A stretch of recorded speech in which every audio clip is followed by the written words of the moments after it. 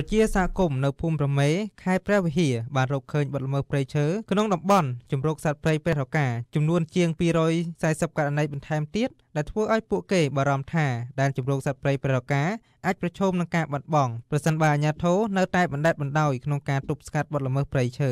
តាមរយៈសេចក្តីប្រកាសព័ត៌មានរបស់ជនជាតិដើមភាគតិចគួយភូមិប្រមេឃុំប្រមេស្រុកត្បែងមានជ័យខេត្តព្រះវិហារឲ្យដឹងថាតាមរយៈការចុះអង្កេតចំនួន2លើកកាលពីចុងខែកក្កដានិងខែសីហាកន្លងទៅបានរកឃើញបទល្មើសព្រៃឈើកើតឡើងចំនួន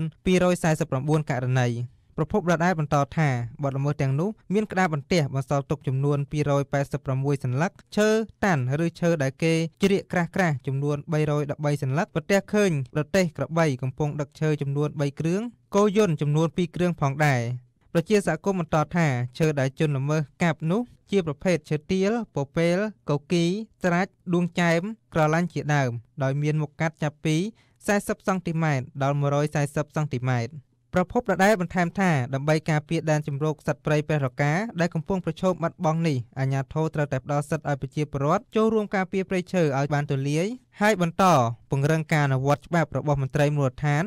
ប្រកបដោយប្រសិទ្ធភាពដំណាភាពនិងការទទួលខុសត្រូវលើសពីនេះបង្កើតយន្តការតាមដានការអនុវត្តច្បាប់របស់មន្ត្រីមូលដ្ឋាននិងការដាក់ទោសទណ្ឌប្រសិនបើរកឃើញថាមន្ត្រីទាំងនោះ ជាប់ពាក់ព័ន្ធទៅនឹងការស៊ីសំណូកជាមួយនឹងឈ្មួញខលខូចប្រជាសហគមន៍ជនជាតិដើមភាគតិចគួយខេត្តព្រះវិហារលោកភីរិនភីស៊ីព្រួយបារម្ភជាខ្លាំងបន្ទាប់ពីការចុះល្បាតកន្លងមកនេះរកឃើញបាត់ល្មើសកំពុងកើតឡើងដោយពួកគេបានកាប់និងដឹកឈើទៅលក់នៅដេប៉ូដែលមានទីតាំងនៅភូមិប្រមេផ្ទាល់មុននឹងឈើនោះដឹកចេញទៅប្រទេសវៀតណាមមកកន្លែងហ្នឹងគាត់បង្កើតកន្លែងមួយថាដោយថាដេប៉ូនិយាយនិយាយថាដេប៉ូគាត់បង្កើតថាដឹកដល់ដេប៉ូហ្នឹងគាត់ តម្លាក់ត្រង់ដល់អញ្ចឹងមានឡានមួយទៀតគាត់ដឹកតទៅក្រៅប្រទេសអញ្ចឹងលោកបន្តថាព្រៃឈើក្នុងដែនជម្រកសត្វព្រៃនឹងរងការបាត់បង់ក្នុងរយៈពេលដ៏ខ្លីជាក់ជាមិនខានប្រសិនបើអាជ្ញាធររារាំងមិនឲ្យប្រជាសហគមន៍មូលដ្ឋានក្នុងការចូលរួមល្បាតព្រៃហើយមន្ត្រីខ្លួនឯងនៅតែអសកម្មឬមិនមានការផ្ដន់ទាទោសចំពោះមន្ត្រីដែលប្រព្រឹត្តអំពើពុករលួយជាមួយជនល្មើសនោះ ប្រជាសហគមន៍ជនជាតិគួយម្នាក់ទៀតលោកហោងសារ៉ាត់បានអះអាងថានៅពេលដែលប្រជាសហគមន៍ជនល្បាតបានលើសម្លេងអាចឈើពេញព្រៃព្រះកាដែលស្ថិតនៅចំណុចកណ្ដាលនៃដែនជំរកសត្វព្រៃព្រះរកាលោកបន្តដោយចោទអាជ្ញាធរថាមិនត្រឹមតែរារាំងមិនឲ្យប្រជាសហគមន៍ចូលការពារនោះទេថែមទាំងជាអ្នកដែលបើកដៃឲ្យជនល្មើសអាចដឹកចេញទៅកាន់ដេប៉ូឬមុននឹងនាំទៅក្រៅប្រទេសជាពិសេសប្រទេសវៀតណាមតែម្ដងរឿងការពារប្រហែលជាមានទេព្រោះអីខ្ញុំ បានជួបជាមួយបងប្អូនខ្ញុំដែរខ្ញុំសួរគាត់ថាតើដឹកឈើនេះចេញមុននឹងដឹកចេញពីព្រៃព្រះរកាតើគាត់ដឹកដោយវិធីណាគាត់ថាមាន ជាផ្លេសនិងបរិស្ថានព្រៃគាត់បាំងឲ្យបរិស្ថានប្រធានមន្ទីរបរិស្ថានខេត្តព្រះវិហារលោកសុនច័ន្ទសុជាតិបានបិទទូរស័ព្ទការហៅចូលរបស់អ្នករាយការណ៍ព័ត៌មាន VOD បន្ទាប់ពីហៅចូលម្ដង តែលោកមិនទទួលទូរស័ព្ទ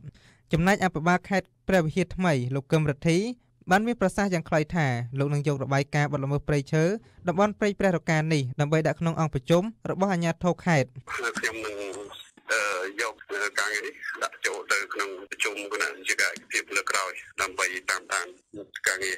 មន្ត្រីគម្រោងតស៊ូមតិនៃគម្រោងអ្នកការពារព្រៃឈើនៃបណ្ដាញសមាគមយុវជនកម្ពុជានិងជាអ្នកចូលរួមល្បាតផងនោះ លោកសាន់ម៉ាឡាមានប្រសាសន៍ថាតាមរយៈការចុះល្បាតនិងការទទួលព័ត៌មានពីសហគមន៍បាត់ល្មើសព្រៃឈើនៅតំបន់នេះកើតឡើងពីមួយថ្ងៃទៅមួយថ្ងៃដែលបង្ហាញថាមន្ត្រីពាក់ព័ន្ធទាំងនោះហាក់បើកដៃឲ្យជនល្មើសការលើកឡើងថាអាញាធរបើកដៃឲ្យជនល្មើសចូលកាប់បំផ្លាញព្រៃឈើហ្នឹងយើងអាចសន្និដ្ឋានបែបហ្នឹងបាន តាមរយៈការធ្វើប្រហែសនិងការអនុវត្តច្បាប់ដែលមានសភាពធូររលុងនិងទុនខ្សោយខ្លាំងគួរឲ្យ ព្រួយបារម្ភជាទីបំផុតសង្គមស៊ីវិលរុកនេះបន្ថែមថាអ្នកមានអំណាចមួយចំនួនកំពុងជួបប្រជាពលរដ្ឋឲ្យចូលទៅកាប់ឈើដើម្បីដឹកឈើកែច្នៃធ្វើជាគ្រឿងសង្ហារឹមហើយជនល្មើសដែលបានសាកសួរឆ្លើយថាពួកគេទទួលបានលុយ100,000រៀលពីឈ្មួញសម្រាប់តម្លៃឈើ1ម៉ែត្រគូបក្នុងទិវាបរិស្ថានពិភពលោកឆ្នាំ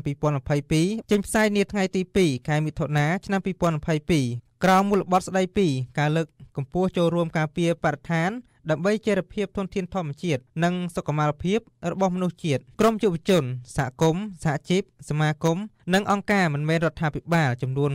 27ស្ថាប័នបានធ្វើសេចក្តីថ្លែងការណ៍រួមថាបើទោះបីជារដ្ឋាភិបាលបានខិតខំបង្កើតនៅចំនួនតំបន់ការពារធនធានធម្មជាតិក្តីក៏ប៉ុន្តែវាពុំបានឆ្លើយតបជាមួយនឹងការកើនឡើងនៅសកម្មភាពកាប់បំផ្លាញ និងឈូសឆាយដីព្រៃជាច្រើនហិកតារួមទាំងនៅក្នុងតំបន់ជំរកសត្វព្រៃនិងតំបន់ដទៃទៀតជារៀងរាល់ថ្ងៃនោះទេអង្គការលើកលែងទោសអន្តរជាតិកាលពីថ្ងៃទី28ខែមករាឆ្នាំ2022បានចេញរបាយការណ៍ដោយបង្ហាញថាក្នុងឆ្នាំ2021ព្រៃឈើចំនួន6000ហិកតានៅតំបន់ជំរកសត្វព្រៃព្រៃឡង់និងព្រៃព្រះឱកាត្រូវបានកាប់បំផ្លាញ ដោយមានការទទួលសំណូកនិងការប្រព្រឹត្តអំពើពុករលួយរបស់អាជ្ញាធរពាក់ព័ន្ធទំហំនៃការបាត់បង់ផ្ទៃដីព្រៃឈើនៅតំបន់ការពារទាំងពីរនេះអង្គការលើកលែងទោសអន្តរជាតិអះអាងថាមានទំហំស្មើនឹងទីលាន ឬតារាងបាល់ទាត់ចំនួនជិត10000ទីតាំង រាជរដ្ឋាភិបាលបានដាក់បញ្ចូលព្រៃបេរកាដែលមានទំហំជិត100,000ហិកតា ជាតំបន់ដែនជម្រកសត្វព្រៃកាលពីឆ្នាំ2016ព្រៃអភិរក្សមួយនេះគ្របដណ្ដប់លើភូមិសាស្ត្រប្រជុំស្រុកចំនួន3រួមមានស្រុកចំខ្សានស្រុកត្បាញមានជ័យនិងស្រុកឆែបខេត្តព្រះវិហារ